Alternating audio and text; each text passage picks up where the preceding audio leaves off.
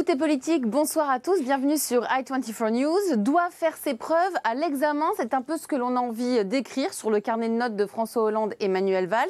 Bonjour Mickaël Darmon. Bonjour. Manuel Valls obtient la confiance, mais de manière étriquée, c'est sur les résultats qu'il sera jugé?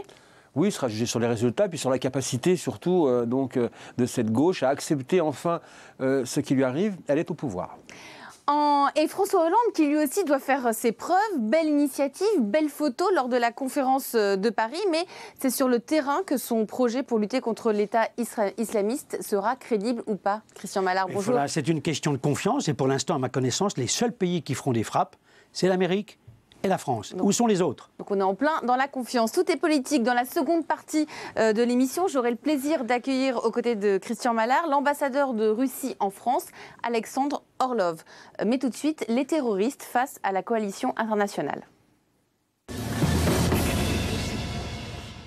Lors de la conférence internationale sur la sécurité en Irak, François Hollande a plaidé pour une coalition la plus large possible pour empêcher la menace terroriste de renverser le pouvoir à Bagdad. Regardez. Ce mouvement terroriste s'est déployé sur tout un territoire, en Irak, en Syrie. Ce mouvement terroriste se joue des frontières et prétend même fonder un État. Telle est la menace elle est globale.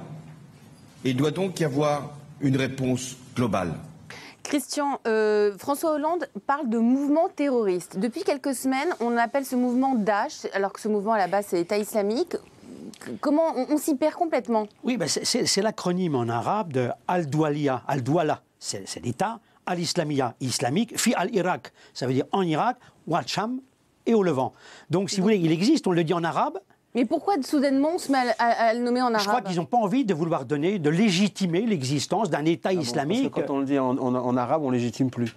Euh, le, dire en arabe, c'est le dire également. C'est aussi même supposer que des gens ne comprennent pas l'arabe. C'est un peu l'acronyme de l'hypocrisie. Vous avez raison. Alors, moi, je suis tout à fait d'accord avec vous, Michael. C'est l'acronyme de l'hypocrisie. Votre expression est excellente et j'y souscris. C'est tout à fait ça. Parce qu'en fait, en même temps, euh, on a le sentiment que lorsqu'on va le dire en arabe, on ne va pas le dire. Ce qui est, assez intéressant, Sur, euh, ça renseigne sur l'inconscient également, finalement, français. Et, c'est vrai hein. que maintenant, vous entendez le président Hollande qui dit Daesh. Vous entendez un certain nombre de leaders occidentaux qui disent Daesh. Ils ne veulent pas dire Islamic State. Ok, donc nous allons le nommer État islamique. Est-ce que les avions et les drones de la coalition peuvent venir à bout par rapport aux troupes qui sont au sol, justement? Écoutez, ça prendra beaucoup de temps. Même Obama le reconnaît. Il pense même que ça peut aller au-delà de la fin de son mandat, le 20 janvier 2017.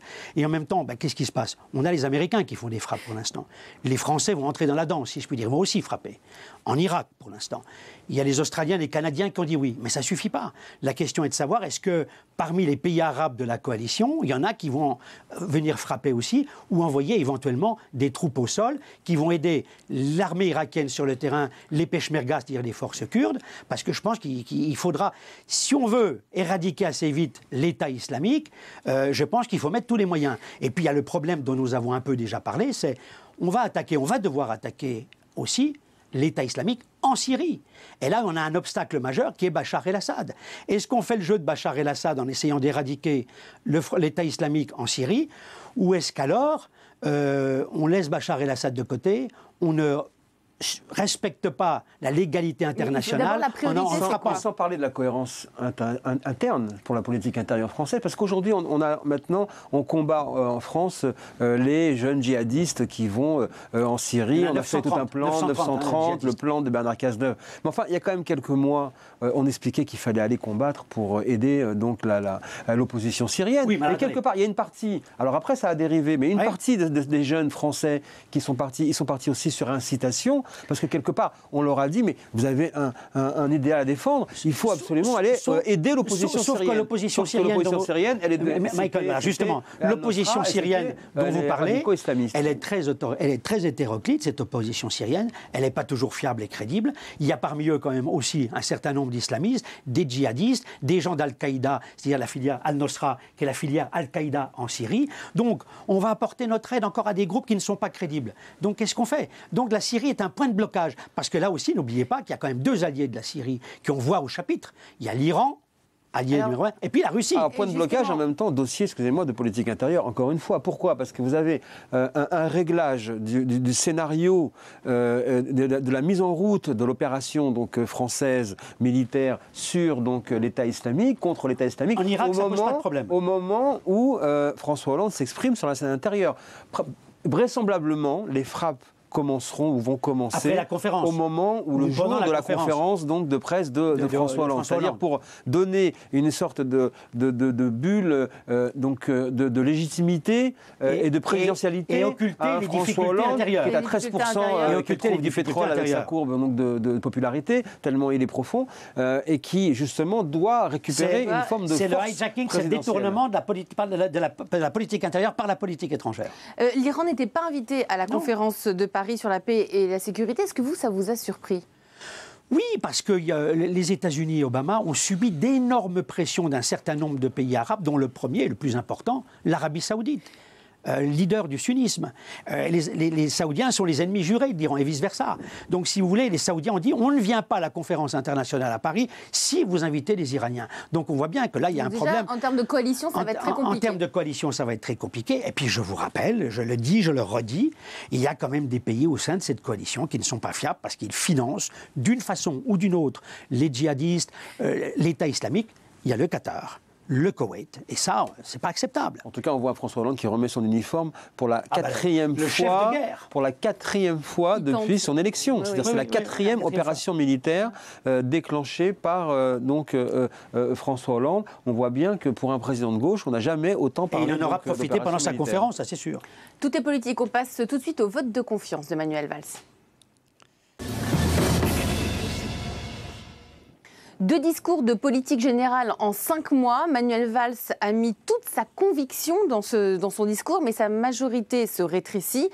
Il a perdu 32 soutiens. Euh, Michael, d'abord, je vous propose de regarder un Manuel Valls qui plie mais ne rompt pas. Non. Gouverner, c'est résister. Gouverner, c'est tenir. Gouverner, c'est réformer. Gouverner, c'est dire la vérité Gouverner, mesdames et messieurs les députés, c'est aller chercher la confiance, surtout quand c'est difficile. Bon, Michael, il, est renforcé parce qu'il a un vote de confiance, mais aussi il est affaibli parce qu'il a perdu 10% de ses soutiens. Alors que faut-il penser? 39 euh, députés ou 37, 37, députés Il est surtout euh, en réalité excédé du temps qu'il doit perdre avec les socialistes. C'est ça euh, aujourd'hui, Emmanuel Valls. Qui lui pose problème aujourd'hui. Bien entendu. Plus que l'opposition. L'opposition aujourd'hui et encore dans, dans quelques jours, pour l'instant, n'existe pas. c'est, c'est tout se passe au cœur de la majorité les débats euh, internes à la majorité sont ceux qui occupent la chronique politique et occupent euh, le débat. Emmanuel Valls, il est tout simplement excédé par le temps qu'il doit perdre à parler avec ses euh, supposés frondeurs, comme il les appelle, parce qu'il leur donne rendez-vous au budget pour voir dans quelle mesure, cette fois-ci, ils ne seront pas dans l'abstention, mais ils voteront. Donc c'est ça la, difficulté. Donc quand il leur dit, pardonnez-moi, là, il leur adresse cette leçon de gouvernance, il veut sans arrêt expliquer, mais, mais et assumer que vous êtes au pouvoir. Donc résister. Assumer qu'effectivement, nous avons euh, en charge les affaires de la France et non pas euh, la, préparation d'un congrès, comme il a répondu à Martine Aubry l'autre jour. Est-ce que vous n'avez pas l'impression qu'il est quand même devenu de plus en plus l'otage de François Hollande?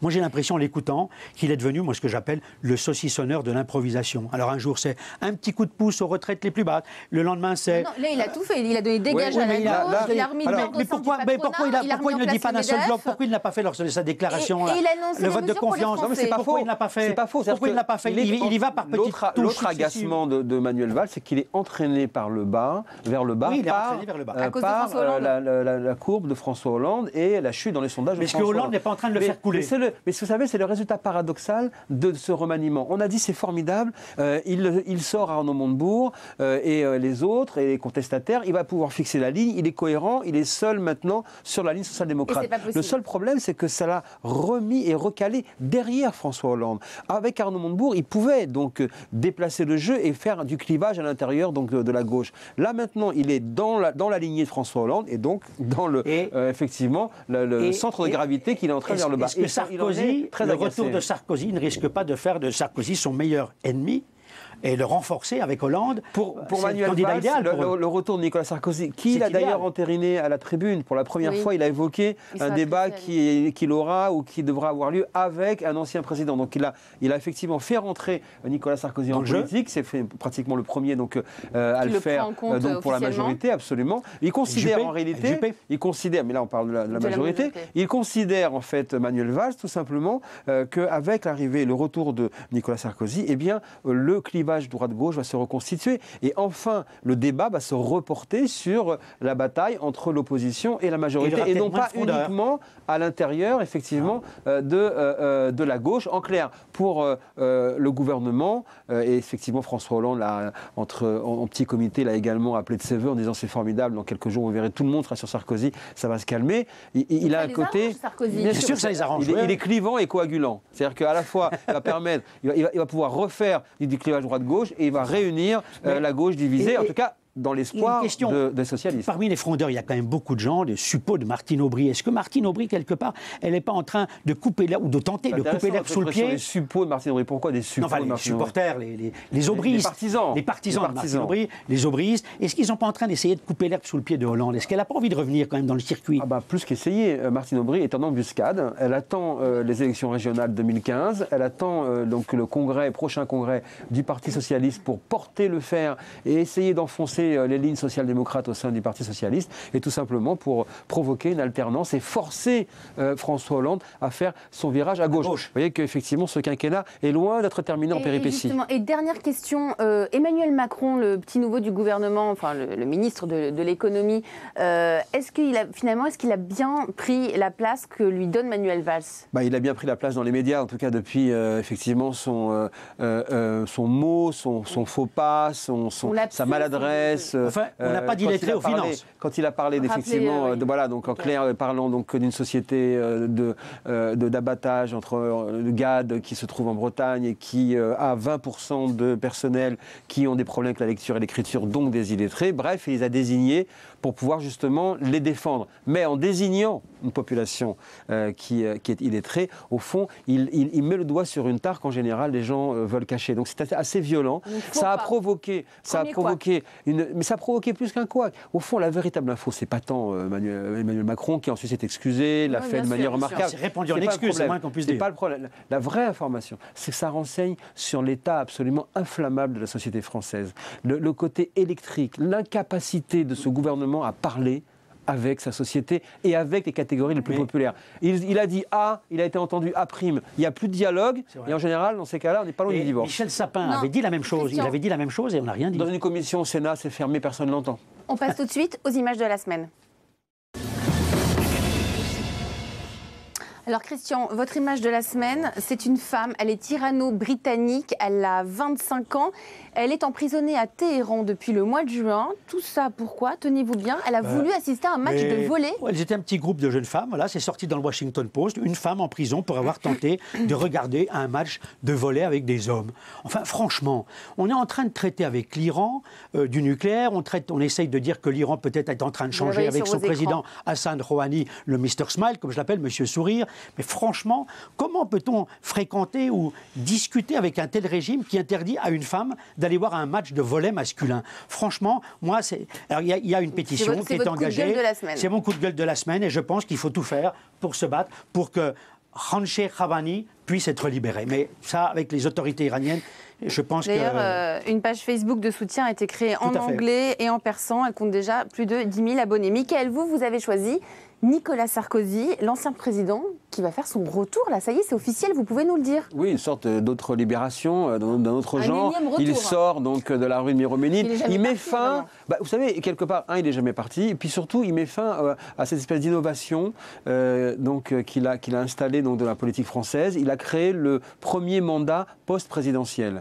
Et euh, vrai, quelque part, c'est le premier ancien président en exercice. Et donc, du coup, eh bien, il revient maintenant à une, à, à une vie active. Il va donc euh, se dans ces jours-ci, officialiser son envie et sa retour en politique. Alors, en clair, ça va commencer d'abord par une adresse sur les réseaux sociaux, parce qu'il veut ah. être collé à son époque, comme on dit. Dimanche, donc, très certainement, avant dimanche, il y aura donc un message qui sera adressé via Twitter ou via Facebook, qui évidemment provoquera toutes les réactions qu'on peut imaginer, des avalanches de commentaires, et tout ça pour, on va dire, teaser et amener vers l'interview qu'il donnera euh, en fin de semaine, euh, donc à la télévision française un, sur France 2. Voilà, donc euh, Nicolas Sarkozy, le retour, 64% de Français. C'est terminé. C'est dire si Michael ça va Darmon, encore laisser le suspense. Merci. Saison 2 Sarkozy. On, vous retrouve la semaine prochaine pour la saison 2 de Sarkozy, dans un prochain numéro de Tout est politique, entre autres. Christian Mallard, vous restez avec moi, on va accueillir l'ambassadeur de Russie en France dans un instant après l'info.